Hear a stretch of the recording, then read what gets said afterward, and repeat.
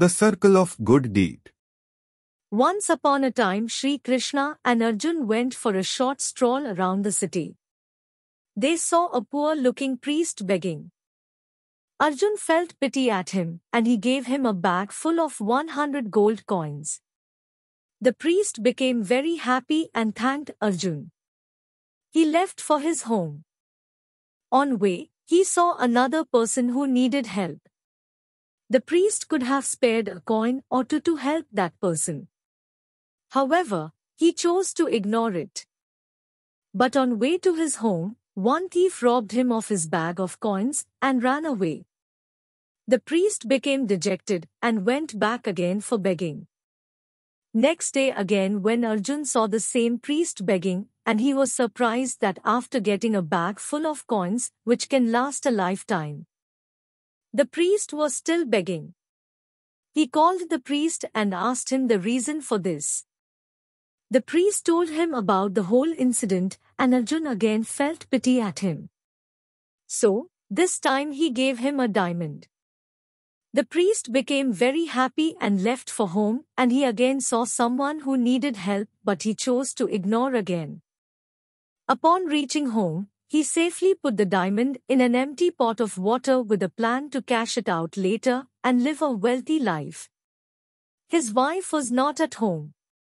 He was very tired so he decided to take a nap. In between, his wife came home and picked up that empty pot of water, walked towards the river close by to fill up the water.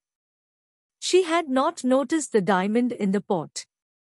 Upon arriving at the river, she put the whole pot into the running river water to fill it up.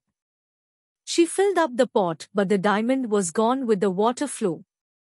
When the priest woke up, he went to see the pot and asked his wife about the diamond. She told him she had not noticed it and it must have been lost in the river. The priest couldn't believe his bad luck and again started begging. Again Arjun and Sri Krishna saw him begging and Arjun inquired about it. Arjun felt bad and started thinking if this priest will ever have a happy life.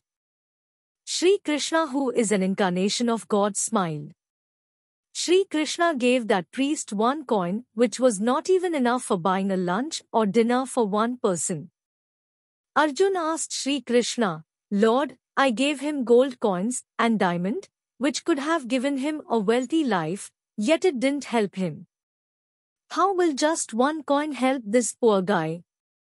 Sri Krishna smiled and told Arjun to follow that priest and find out. On the way, the priest was thinking that one coin Sri Krishna gave him, he can't even buy a lunch for one person. Why would he give so little? He saw a fisherman who was getting a fish out of his net. Fish was struggling. The priest felt pity at fish. He thought that this one coin won't solve my problem, why not I save that fish? So the priest paid the fisherman and took the fish. He put the fish in his small pot of water which he always carried with him. The fish was struggling in a small pot of water, ended up throwing out a diamond from the mouth. The priest screamed with a joy, I got it, I got it. At that same point, the thief who had robbed the priest's bag of 100 gold coins was passing through there. He thought that the priest recognized him and may get him punished. He got nervous and ran to the priest. He apologized to the priest and returned his bag. Full of 100 gold coins. The priest couldn't believe what just happened. Arjun saw all this and said, O Lord, now I understand your play.